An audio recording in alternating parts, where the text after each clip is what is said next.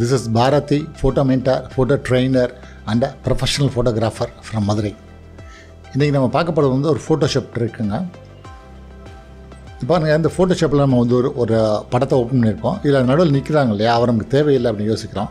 அவரை எப்படி நம்ம டெலீட் பண்ணுறது அப்படிங்கிறத பற்றி பார்க்க போகிறோம் இப்போ ரொம்ப சிம்பிளுங்க இந்த கண்டென்ட் அவர் அப்படிங்கிற டூல் மூலமாக நீங்கள் என்ன செய்யலாம்? கிளிக் பண்ணிங்கன்னா கிளிக் பண்ண உடனே அவர் வந்து காணாமல் போயிடுவார்.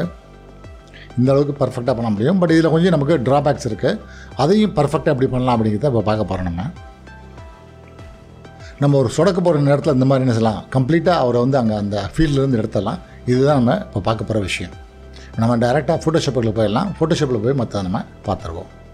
ஸோ ஃபோட்டோஷாப்பில் நமக்கு தேவையான ஒரு ஃபைலை ஓப்பன் பண்ணிக்குவோம். இந்த இருக்காங்க இல்லையா?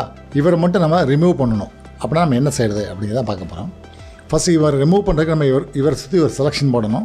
அந்த செலெக்ஷன் நம்ம பக்காவாக போட போகிறோமா இல்லாட்டி சுமாராக போட போகிறோமா அப்படின்னா இதுக்கு வந்து ரெண்டு மூணு டூல் இருக்குது நம்ம மூணு டூலை வந்து அந்த விஷயத்தில் பார்க்க போகிறோம் நம்பர் ஒன் வந்து என்னென்னு கேட்டிங்கன்னா இங்கே இருக்கக்கூடிய இந்த பேட்ச் டூல் இந்த இல்லையா? இந்த பேட்ச் டூல் இந்த பேட்ச் டூலை நீங்கள் எடுத்துக்கோங்க.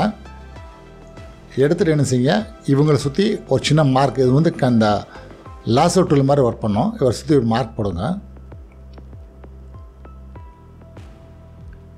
மார்க் போட்டு முடித்ததுக்கப்புறம் அதே மவுஸை உள்ளே வச்சுட்டு அப்படி லேசாக நகட்டிட்டே அவங்க இப்போ பார்த்தீங்கன்னா உள்ளே இருக்கிற அந்த ஃபிகர் வந்து டிஸப்பியர் ஆகிடுச்சு பட் ஆனால் அந்த இடத்துல வந்து எதை ஃபில்லப் பண்ண போகுது அப்படிங்கிறது இது காட்டுது இல்லையா? நான் தப்பாக இப்படி கொண்டு வைக்கக்கூடாது ஸோ அதுக்கு மேட்ச் ஆகிற மாதிரி இடம் எங்கே இருக்கோ அந்த இடத்துல நீங்கள் கொண்டு வைக்கலாம். இப்போ இந்த இடத்துல கொண்டு வச்சு பாருங்கள் மேட்ச் ஆகிற மாதிரி இருக்குது. இப்போ இங்கே வச்சிங்கன்னா மேட்ச் ஆகலை. இங்கே வச்சாலும் மேட்ச் ஆகலை. ஸோ அது மேட்ச் ஆகிற அளவுக்கு எங்கே ஒரு இடம் இருக்கோ அந்த இடத்துக்கு நீங்கள் கொண்டு போங்க. இப்போ நம்ம நியர்பையாக கொண்டு போகலாம். இப்போ இந்த இடத்துல பார்த்தீங்கன்னா அந்த லைட் ஸ்ட்ரீக்கும் பாறையும் ஒத்து வர மாதிரி இருக்குது ஸோ இந்த இடத்துல வச்சு அப்படி விட்டுருங்க நீங்கள் முடிஞ்சிச்சு.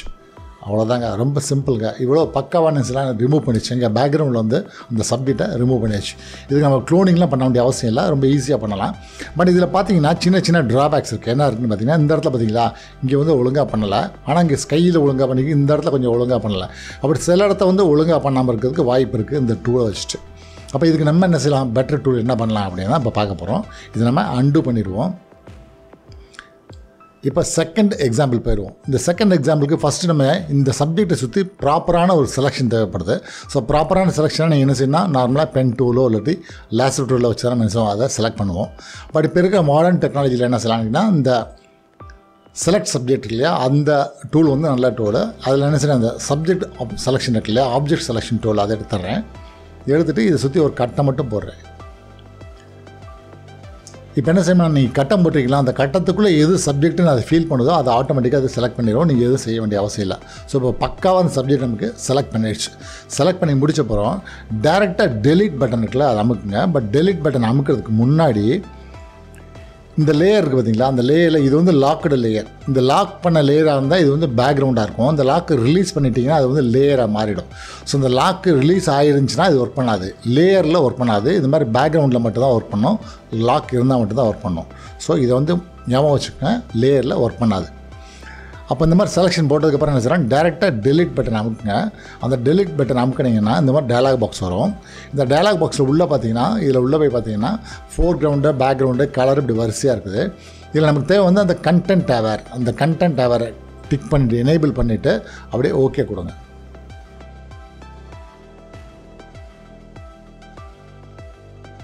இப்போ பாருங்கள் இதுவும் ஒரு நல்ல அருமையான வேலை பார்த்துருக்கு. நான் கண்ட்ரோல்டு வீட்டு டீசெலக்ட் பண்ணிடுறேன். பட் இதில் என்ன பிரச்சனை இருக்குன்னு பார்த்தீங்கன்னா அந்த கட் பண்ண ஃபிகரை ஒட்டி கட் அவுட் அப்படியே மார்க் தெரியுது இல்லையா? ஸோ அந்த மார்க் நமக்கு ஆக்சுவல் தெரியக்கூடாது. அப்போ என்ன செய்யலாம் கேட்டிங்கன்னா திரும்பி இதை அன்டூ பண்ணிடுவோம். இப்போ நம்ம சப்ஜெக்ட் வந்து செலக்ட் பண்ணியிருக்கோம் இல்லையா? அந்த கண்டென்ட் அவர் டூல் எப்படி ஒர்க் பண்ணணும்னு பார்த்தீங்கன்னா இந்த மார்க் பண்ணியிருக்கோம்ல மார்க்குக்கு பக்கத்தில் என்ன இருக்கோ அதை எடுத்து தான் ஃபில்லப் பண்ணும். பட் மார்க் என்ன செஞ்சோம் நம்ம சப்ஜெக்டை ஒட்டி போட்டனால அது வந்து கன்ஃபியூஸ் ஆகிடுச்சு அப்போ இதுக்கு என்ன பண்ணுன்னு கேட்டிங்கன்னா டேரெக்டாக நீங்கள் என்ன செய்ய செலக்ட் போங்க. அதில் வந்து மாடிஃபை போங்க. அதில் வந்து எக்ஸ்பேண்ட் கண்ட்ராக்ட் இருக்கிறதுனால இந்த எக்ஸ்பேண்ட் என்னென்னா இந்த எக்ஸ்பேண்டை கிளிக் பண்ணிங்கன்னா இப்போ நீங்கள் வச்சுருக்கிற இந்த செலெக்ஷனை வந்து இன்னும் கொஞ்சம் எக்ஸ்பேண்ட் பண்ண சொல்லி சொல்கிறீங்க எவ்வளோ எக்ஸ்பேண்ட் பண்ணலான்னா இது பிக்சல் பேஸ்டாக ஒர்க் பண்ணோம். நம்ம வந்து ஒரு இருபது அல்லது முப்பது பிக்சல் வந்து எக்ஸ்பேண்ட் பண்ணலாம். நான் சேஃப்டிக்கு என்ன பண்ணுறேன் ஒரு தேர்ட்டி பிக்சல்ஸ் வந்து எக்ஸ்பேண்ட் பண்ணுறேன் எக்ஸ்பேண்ட் கொடுத்தவொடனே பாருங்கள் என்னன்னா இப்போ முதல்ல என்ன இருந்துச்சு செலெக்ஷன் வந்து சப்ஜெக்ட் ஒட்டி இருந்துச்சு. இப்போ என்ன இருக்குது கொஞ்சம் சப்ஜெக்ட் விட்டு ஒரு முப்பது பிக்சல் தள்ளி வந்துருச்சு. இதனால் நமக்கு என்ன லாபம்னா அந்த சப்ஜெக்ட் எங்கேருந்து தள்ளி வந்திருக்கோ அதுலேருந்து தான் கண்டென்ட் அவர் எடுக்கும். அப்போ நம்ம இது வந்து நல்லாவே ஒர்க் பண்ணும். அதனால் என்ன சார் ஒரு தேர்ட்டி பிக்சல்ஸ் கொடுத்துட்றேன். இப்போ அதே வேலை பாருங்க என்ன செய்கிறேன் டெலிட் கொடுக்குறேன். இப்போ கண்டென்ட் அவரில் தான் இருக்குது. அதை அப்படியே ஓகே கொடுக்குறேன். இப்போ பார்த்தீங்களா சூப்பராக ஒர்க் பண்ணிடுச்சு இப்போ பாருங்கள் ஒரு பிசுறு இல்லாமல் பர்ஃபெக்டாக ஒர்க் பண்ணிடுச்சு அந்த இடத்துல இருந்து என்ன செய்யுது நமக்கு தேவையில்லாத அந்த அன்வான்ட் எலமெண்ட்டை அழகாக தூக்கி விட்டுச்சு. பட் இது வந்து எல்லா இடத்துக்கும் பொருந்தமான சில இடத்துக்கு இது பொருந்தாது. அந்த பொருந்தாத இடத்துல நம்ம என்ன பண்ணான்னு பார்க்கலாம். இதை நம்ம க்ளோஸ் பண்ணிடுவோம். இன்னொரு ஃபோட்டோகிராஃப் ஓப்பன் பண்ணிக்குவோம் நம்ம ஃபஸ்ட்டு சொன்ன இந்த பேட்ச் டூல் இருக்குல்ல அதை எடுத்துக்குவோம் எடுத்து என்ன செய்றேன் இவங்களை சுற்றி ஒரு மார்க் போடுறேன்.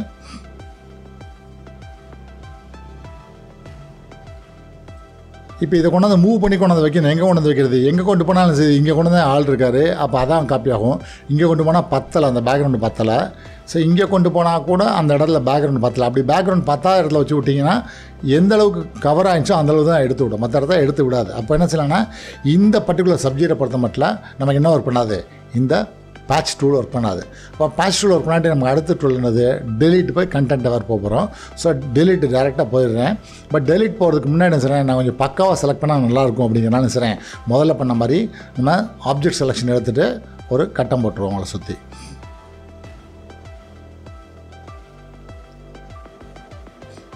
இப்போ இவங்க பக்காவாக செலக்ட் ஆகிட்டாங்க ஒரு இந்த தலைப்பக்கம் கொஞ்சம் செலக்ட் ஆகாமல் இருந்துச்சுன்னு நினச்சலாம் இதில் போய் ஆட் இருக்குல்ல அந்த ஆடில் போய் இன்னொரு சின்ன கட்டம் போட்டிங்கன்னா அந்த தலையை செலக்ட் ஆகிரும் செலக்ட் பண்ணிடுச்சு செலக்ட் பண்ண பிறகு நம்ம என்ன லாஸ்ட் டைம் பண்ண மாதிரியே செலக்டில் போய் மாடிஃபைல போய் எக்ஸ்பேண்டு எவ்வளோ பிக்சல்ஸு ஒரு தேர்ட்டி பிக்சல்ஸ் எக்ஸ்பேண்ட் பண்ணிடுறேன். இப்போ தேர்ட்டி பிக்சல்ஸ் எக்ஸ்பேண்ட் பண்ணதுக்கு அப்புறம் அதே டெலிட்டு அதே கண்டென்ட்டை வேறு.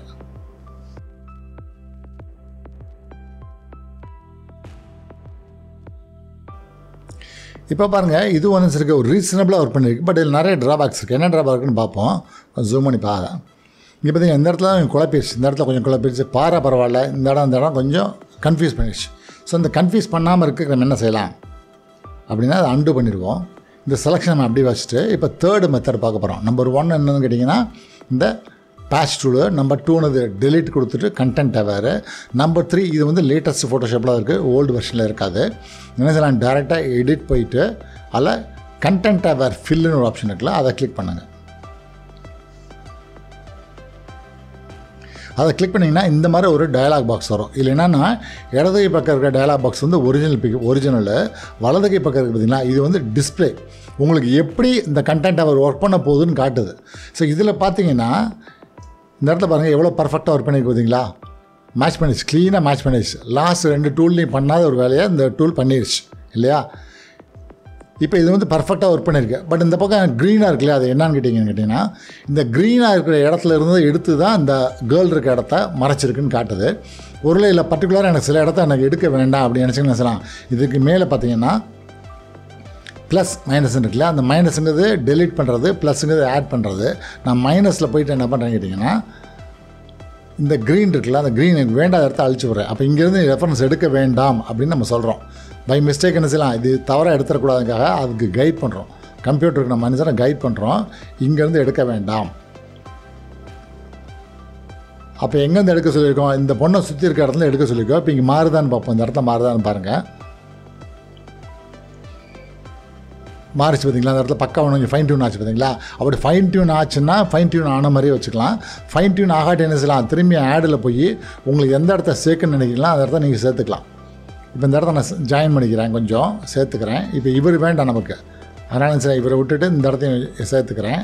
இப்போ அதில் மாறுதான்னு பார்ப்போம் நம்ம. இந்த இடத்த மாறுதான்னு பாருங்கள்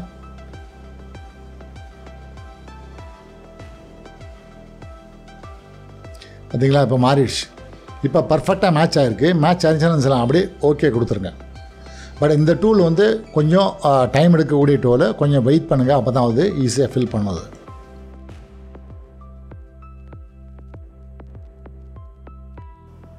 இப்போ பார்த்தீங்களா இது வந்து ஒரு பியூட்டிஃபுல்லாக ஒரு நமக்கு அந்த கேர்ள் அந்த இடத்த எடுத்து விடுச்சு இன்னும் ஒரே ஒரு உதாரணம் பார்த்துருவோம். ஸோ முதல்ல பார்த்த ரெண்டு ஃபோட்டோகிராஃபியும் நமக்கு நிறைய ஸ்பேஸ் இருந்துச்சு. அதனால் என்ன செய்யுது அந்த கம்ப்யூட்டரால் பக்கத்துலேருந்து எடுத்து வைக்க முடிஞ்சிச்சு. பட் இதில் பார்த்திங்கன்னா மரத்தடியில் நிற்கக்கூடிய பொண்ணு இந்த பொண்ணை நம்ம மேட்ச் பண்ண முடியுமா அப்படின்னா தெரியல. நம்ம ட்ரை பண்ணிடுவோம் அதே அந்த ஆப்ஜெக்ட் செலெக்ஷன் டூல் எடுத்துகிட்டு என்ன செய்கிறேன் இந்த பொண்ணை சுற்றி ஒரு கட்டம் போடுறேன். உங்களுக்கு இந்த ஆப்ஜெக்ட் செலெக்ஷன் டூல் இல்லாட்டி என்ன செய்யலாம் பென் டூல்லையோ அல்லது ஆசர் டூல்லையோ நீங்கள் இப்படி செலக்ட் பண்ணிக்கங்க. செலக்ட் பண்ணி முடிச்சப்பறம் என்ன செய்யணும்? நம்ம வந்து இந்த செலெக்ஷனை எக்ஸ்பேண்ட் பண்ணணும். அதுக்கு என்ன செய்கிறோம் திரும்பியும் செலக்டில் போயிட்டு மாடிஃபைல போய் அதே எக்ஸ்பேண்டில் போயிட்டு ஒரு தேர்ட்டி பிக்சல்ஸ் எக்ஸ்பேண்ட் பண்ணிடுறோம். எக்ஸ்பேண்ட் பண்ணதுக்கப்புறம் என்ன செய்யலாம் தேர்டு மெத்தட் பார்த்தோம் இல்லையா? அது மாதிரி என்ன செய்யலாம் எடிட்டில் போய் டைரெக்டாக கண்டென்ட் அவேர் ஃபில் அதை கொடுக்குறோம். இப்போ இது ஆட்டோமேட்டிக்காக அது என்ன பண்ணுது? அதுவாக மார்க் பண்ணுறது இந்த இடத்துல தான் மார்க் பண்ணியிருக்கு மற்ற இடத்துல மார்க் பண்ணல. இங்கே பார்த்தீங்களா? எவ்வளோ பியூட்டிஃபுல்லாக ஒர்க் பண்ணியிருப்பாருங்க ஸோ இந்த அளவுக்கு பியூட்டிஃபுல்லாக ஒர்க் பண்ணுறதுக்கு நம்ம ஈஸியாக வழியே கிடையாது. பெஸ்ட்டு டூல் வந்து இந்த டூல் தான். நினச்சிறேன் இது அப்படியே பக்காவாக இருக்கு நினச்சிறேன் அதை அப்படியே ஓகே கொடுத்துறேன் நான். இங்கே பார்த்தீங்களா இப்போ எவ்வளோ தூரத்துக்கு க்ளீனாக ஒர்க் பண்ணியிருப்பாருங்க இந்த இடத்துல அந்த கேர்ளே நம்ம காணாமல் போயிடுச்சு. நம்ம அந்த ஆக்சுவலாக அந்த இடத்துல அந்த பொண்ணை வச்சு படம் எடுக்காத அளவுக்கு ஒரு அழகான ஒரு படம் நமக்கு வந்துருச்சு. ஸோ இந்த மாதிரி மூணு மெத்தடில் நீங்கள் என்ன சொல்லலாம்? பண்ணிக்கலாம். நம்பர் ஒன் வந்து பேட்ச் டூலு அது வந்து என்ன செய்யணும் நீங்கள் ட்ராகன் ட்ராப்பை எடுத்துக்கொண்டு போய் எந்த இடத்தன்னு கம்ப்யூட்டருக்கு டிஃபைன் பண்ணணும் நம்பர் டூ வந்து டெலிட் மூலமாக போகக்கூடிய அந்த கண்டென்ட் அவர் ஃபில் ஒன்று டெலிட்டில் போய் போகலாம் அல்லது என்ன செய்யலாம் கண்டென்ட் அவர் ஃபில் எங்கேன்னு கேட்டிங்கன்னா எடிட்டில் போய் ஃபில்லில் போனீங்கனாலும் அந்த கண்டென்ட் அவர் இருக்கும். இந்த இல்லையா இந்த டயலாக் பாக்ஸ் ஷார்ட்டாக கொண்டு வரது தான் நம்ம டெலிட்டை கிளிக் பண்ணுறோம் அப்படி டெலிட்டை கிளிக் பண்ணாட்டி என்ன செய்யும்? டேரெக்டாக எடிட்டில் போய் ஃபில்லில் போய் அந்த கண்டென்ட் அவரை நீங்கள் எடுத்துக்கலாம். இப்போ அந்த லேட்டஸ்ட் ஃபில்ம் மெத்தட் இன்னும் சின்ன அட்வான்டேஜ் இப்போ நம்ம லாஸ்ட்டாக பண்ணோம் இல்லையா? ஒரு சின்ன அட்வான்டேஜ் இருக்குன்னு கேட்டிங்கன்னா இப்போ நீங்கள் பண்ணது தனி லேயரில் வந்து நிற்கும் இப்போ இந்த இடத்துல கேர்ள் இருந்த கேர்ள் காணாமல் போயிட்டாங்க. ஆனால் அவங்க தனி லேயரில் இருப்பாங்க பார்த்தீங்களா அந்த லேயர் வேணால் எனேபிள் பண்ணி எப்படி இருக்குன்னு நம்ம பார்த்துக்கலாம். ஒரு வேண்டா டென்ஸ் திரும்பி merge பண்ணிக்கலாம். ஸோ அந்த ஒரு வசதி வந்து இந்த லாஸ்ட் டூலில் இருக்குது. இப்படி இந்த மூணு மெத்தடில் உங்களுக்கு எந்த மெத்தடு ஒத்து வருதோ அந்த மெத்தடை வச்சு நீங்கள் செய்யலாம். ஒரு படத்துலேருந்து வேலை தேவையில்லாத ஒரு எலமெண்ட்டை நீங்கள் நிற்கலாம் இந்த வீடியோ உங்களுக்கு பிடிச்சிருந்துச்சுன்னா யூஸ்ஃபுல்லாக இருந்துச்சுன்னா என்னோடய சேனலை சப்ஸ்கிரைப் பண்ணுங்கள் பக்கத்தில் இருக்கிற பெல் பட்டன் அமைக்க வைங்க. முக்கியமாக வந்து உங்கள் கமெண்ட்டை வந்து என்னோடய இன்பாக்ஸில் பதிவு பண்ணுங்கள் உங்களோட ஃப்ரெண்ட்ஸோட அந்த வீடியோவை ஷேர் பண்ணுங்கள் மீண்டும் மற்றொரு வீடியோவில் சந்திக்கும் வரை நன்றி வணக்கம்.